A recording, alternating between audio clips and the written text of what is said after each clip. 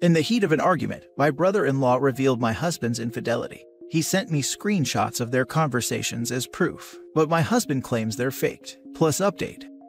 Original post. We had a party last night, and my brother in law Chris attended. He's 10 years younger than my husband. Near the end of the party, about 2 a.m., I was in the kitchen cleaning up. He was out on the deck talking to Jennifer, a woman Chris graduated with, who lives nearby, and they had both been drinking. The porch door was open, so even though I wasn't eavesdropping, it was impossible not to hear what they were saying. Chris was flirting with her. He kept complimenting her, saying how beautiful and pretty she was, etc. I guess at one point she pulled up his Facebook and saw that he has a girlfriend. He said Jennifer was lovely, and Jennifer said, Thank you, and it looks like your girlfriend is lovely as well. Chris started saying how they were going through something right now. They weren't technically together, it was an open relationship. Everything he could think of. Jennifer was being really cool about it. She kept saying thank you and how she appreciated his compliments, but she wasn't interested.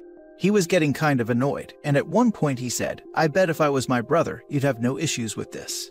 Jennifer said, Your brother is actually loyal. He wouldn't cheat on his wife.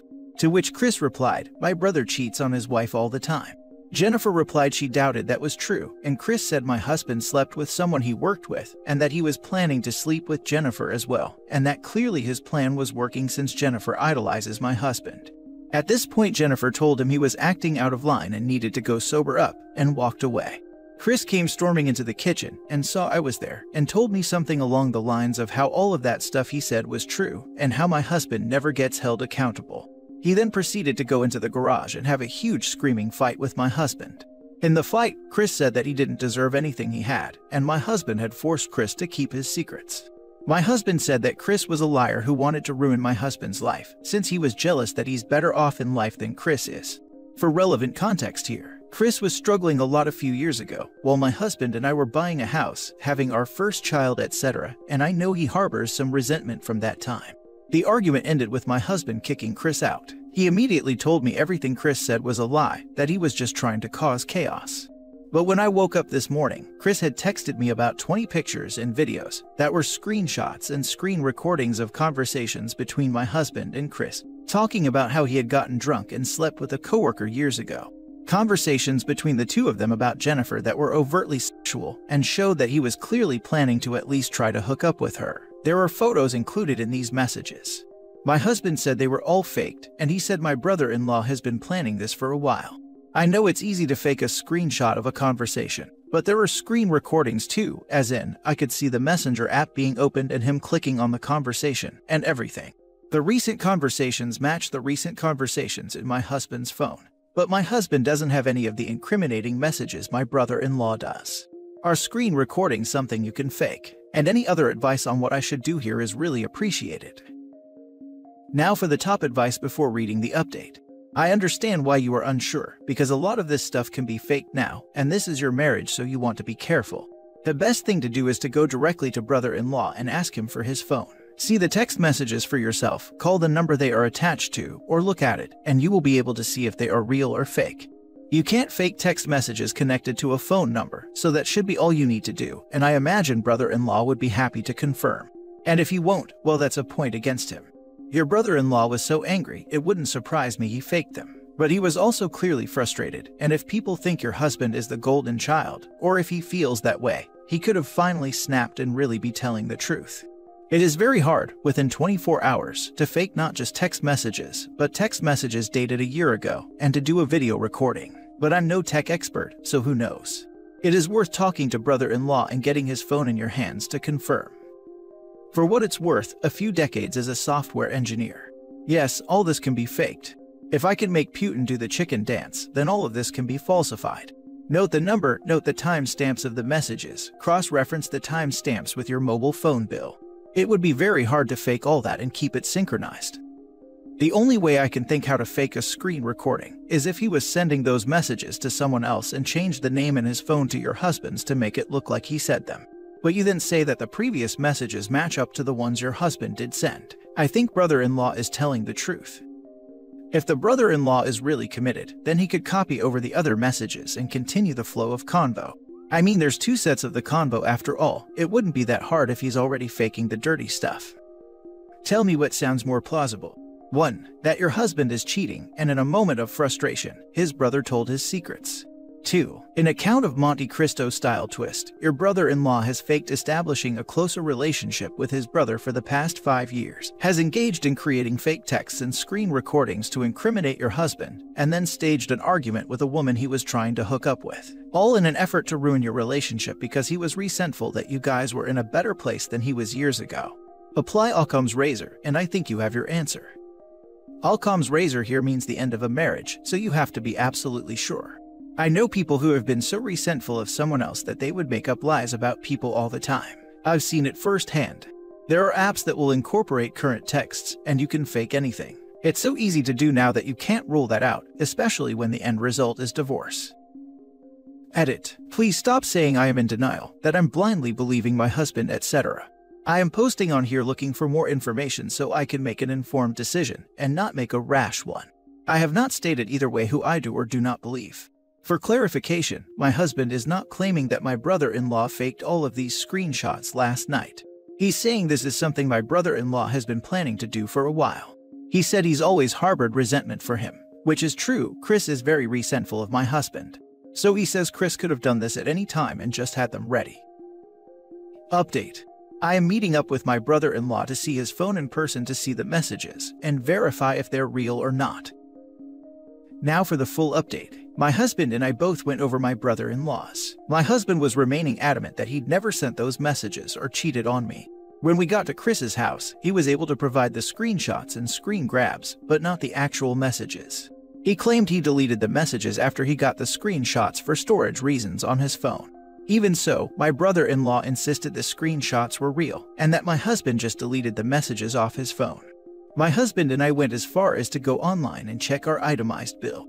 There are days where my brother in law has screenshots where, according to our phone bill, my husband never texted him that day, or even the days before or days following for that matter. I don't know why my brother in law had these fabricated conversations, nor when he was planning to reveal them, or if he just made them to have just in case to use as blackmail or to threaten him.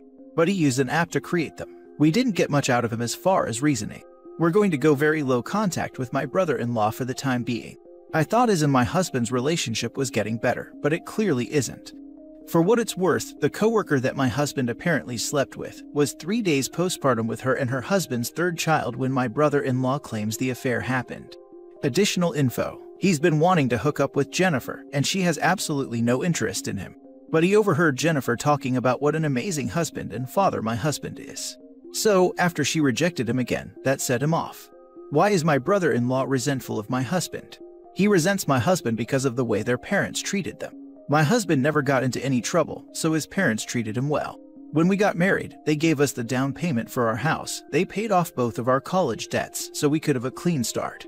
My brother-in-law was more rambunctious as a child, so he was always treated like a criminal and eventually began behaving the part.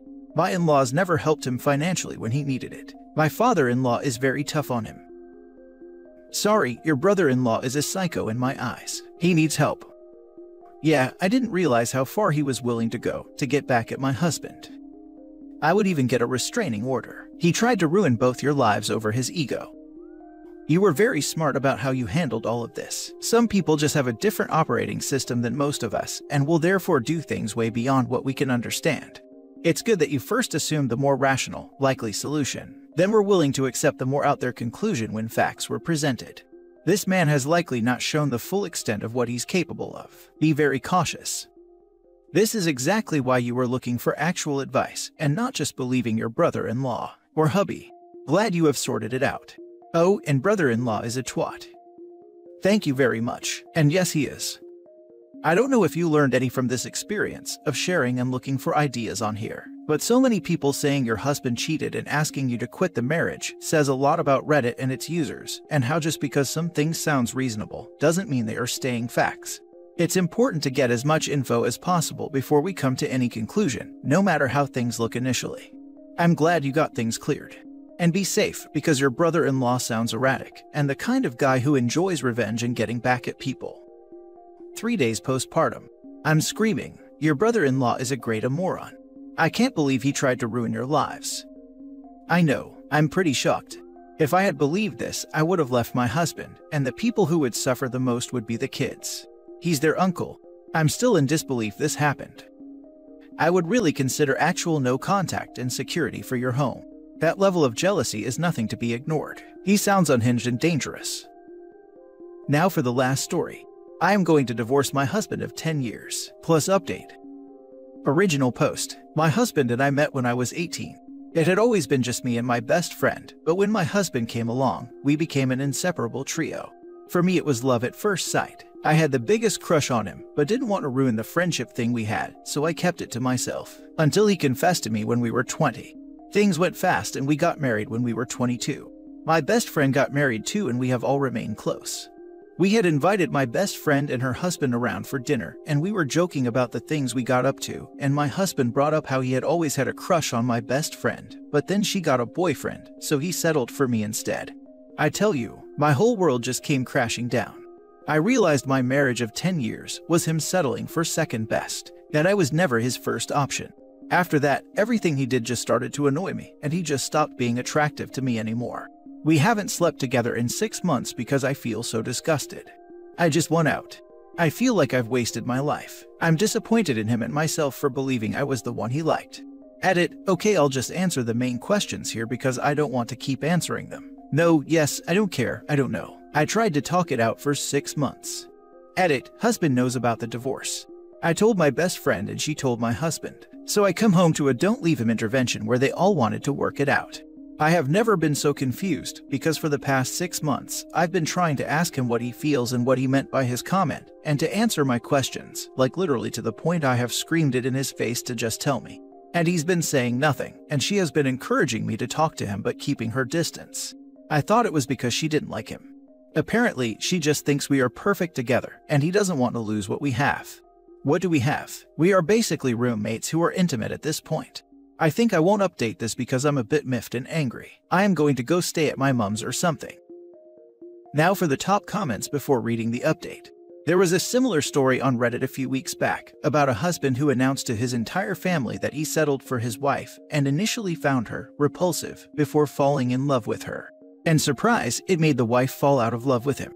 Why do people think it's a cute joke to be like? At first I thought I could do way better than you, but eventually I was like, hey maybe I can't. Dumb as hell. I remember that story. Repulsive. What a word to just throw around.